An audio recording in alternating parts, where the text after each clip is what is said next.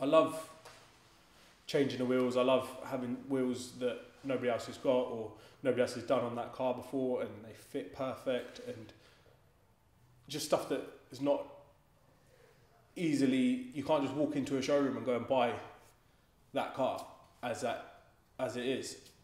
It's personal, you know. It's you've got to really be a true enthusiast of it to understand it, I suppose. Uh, but then the the purists will say, "Oh, leave it stock." I, I understand that more and more so now as I'm getting older, but I still love the the whole aspect of making a car your own.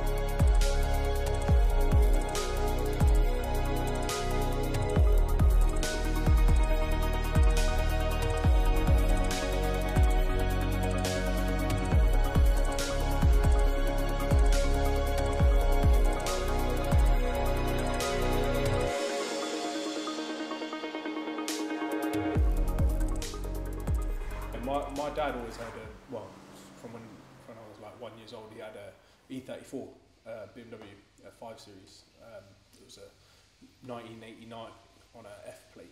Um, he had that for years, for like 15 years. So all the way through growing up, he had that car. Um, so that's always kind of stuck in my head, and always loved BMW since then. Really, I just love the way they drive. I love the way they look, um, especially the E30, E34 era. They're, they're, they're kind of my favourites. That's why I've got so many E34s and so many E30s. Late 80s cars were really difficult cars to drive, like stuff like this, um, uh, like Porsches and stuff of the same era. Um, they're, they're difficult cars to drive. They're not comfortable cars to drive. Whereas the BMWs were comfortable.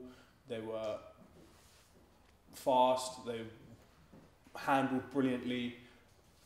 They did everything. I, in my opinion, probably even better than than this, um, other than looks, I suppose. But that's subjective. Uh, I think an E30 M3 looks just as good as a Testarossa.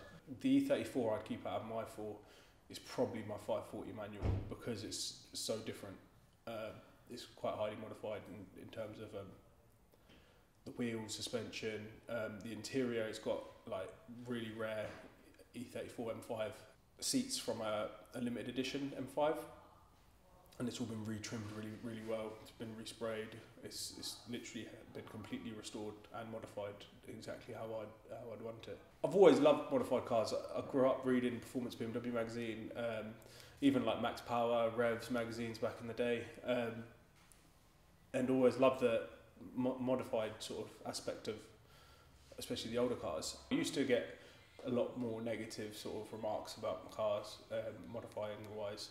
Um, but I think people don't really say it to me anymore. But um, it's no, it's never bothered me. I've always just always done what I what I've liked, and I think it looks good. So, and not only looks wise, I modify them to change the engines, make them faster. Um, suspension modifications to make them handle better, even like steering racks, things like that, just to change everything about, improve everything about a car. You know especially the older cars, they, they need it to sort of keep up with modern equivalents. There's also uh, something to say about keeping a car completely original and giving and having that old time warp feeling of driving an old car, but there's also something to be said for making a car feel newer.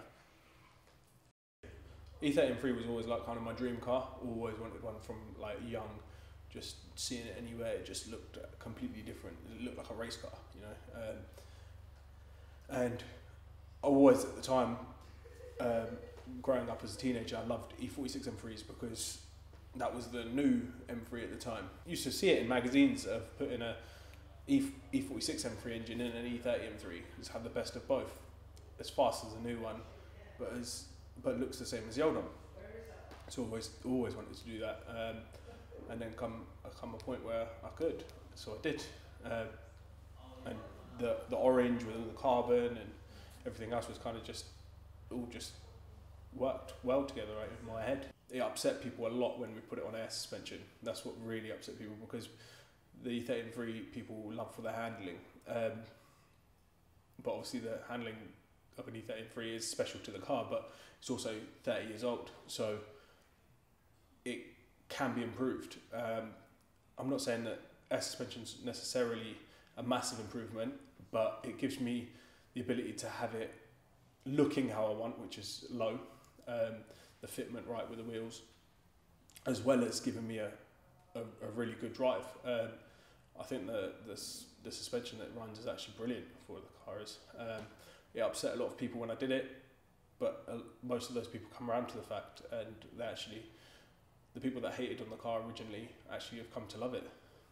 Everything was decided kind of beforehand. I wanted to do a full Alcantara interior, um, keep it looking quite OEM stock inside, um, keep the car looking very OEM, OEM plus, but just like slammed on air, um, so I can raise it up and drive it hard because that's really what I like to do is drive drive the cars, not just look at them. I've got pretty much my dream car collection. Obviously, there's a the stuff that I grew up wanting um, is mostly here. Um, there's a couple of cars that you you still think actually I'd I'd love one of those.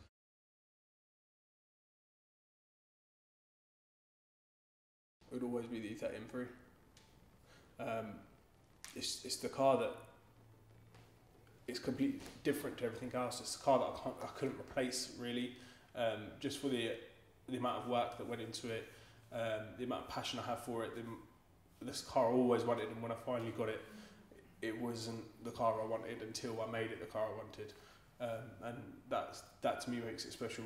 Um, no one can just walk into anywhere and say I want that car, and I have the same attachment to it as I've got to that one, I suppose. Um, and I don't have that with any other vehicle at all.